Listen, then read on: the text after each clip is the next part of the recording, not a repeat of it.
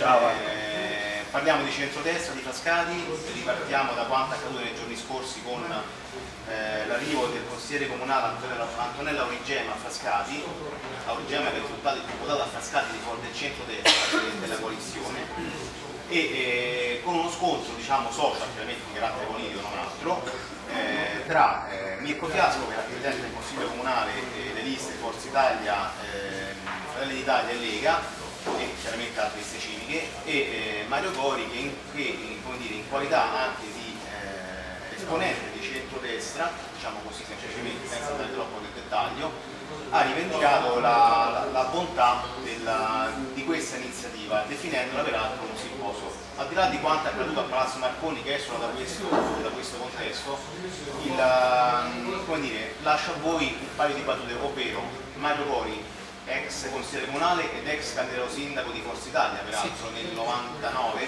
No, 2004. 2004, eh, dato la trova 99.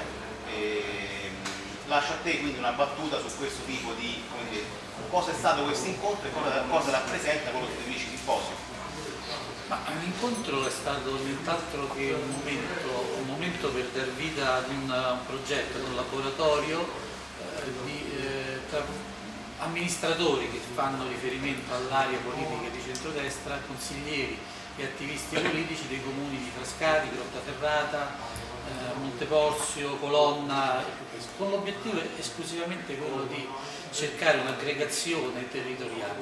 Ormai è abbastanza evidente l'assenza dei partiti a livello verticistico, quindi dei quadri eh, nazionali e regionali sul, sul territorio. Quindi c'è l'esigenza per chi fa amministrazione di avere dei collegamenti per far sì che dei progetti comuni vengano poi dopo portati avanti nelle sedi eh, nazionali e nelle sedi, nelle sedi, regionali. Quindi è nata questa occasione. Ti interrompo, ti interrompo chiedendo la domanda della squadra del diavolo come mai non si è pensato di, di, di coinvolgere in questa occasione i rappresentanti istituzionali di queste liste?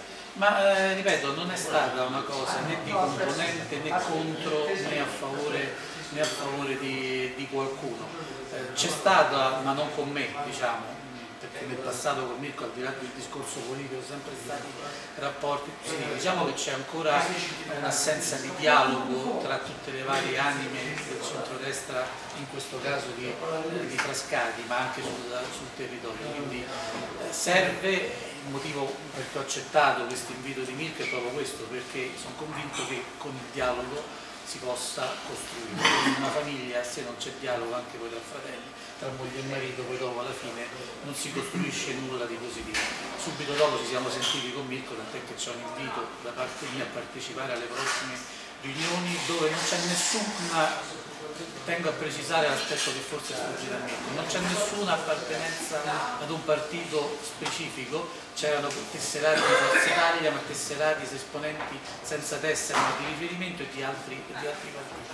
Quindi si è detto di mettere su questo laboratorio che un po' nasce, ecco perché a Origemma, dal laboratorio, dall'idea del laboratorio Roma, il sindaco Alemanno ci fu appunto una serie di consiglieri comunali tra cui il frascatano e l'amico Ludovico Todini che formarono un progetto, un progetto che andava un po' eh, parallelo ai partiti di riferimento. E Aurigemma fu diciamo, il primo eh, che fece partire questo progetto, quindi il richiamo ad Aurigemma è stato proprio a spiegare l'iniziativa che vorremmo, abbiamo deciso di riportare sul territorio, cioè l'assenza, la carenza di partiti chiaro, chiaro, chiaro.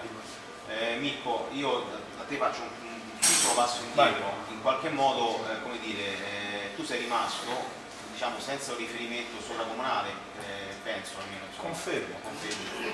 E, quindi insomma, mh, mm, qual è la posizione? Abbiamo letto chiaramente le tue, eh, le, mh, le, la, la, tua posizione relativamente a quanto è accaduto appunto nel simposio di Origemma.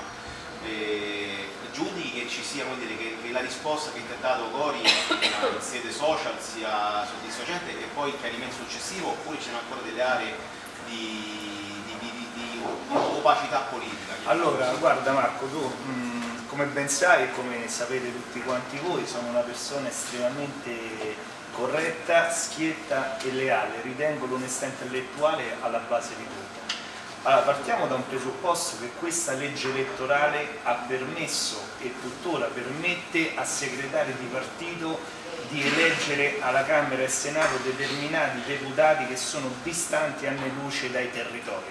Quindi pur condividendo quanto detto da Mario Gori, nel senso quindi l'importanza di ricreare una classe dirigente sui territori, ma come sapete tutti la mia appartenenza politica proviene da Alleanza Nazionale, già dai tempi di Alleanza Nazionale si parlava dell'importanza proprio di creare una subfederazione dei castelli romani proprio per avere radicamenti eh, sui territori e punti di riferimento.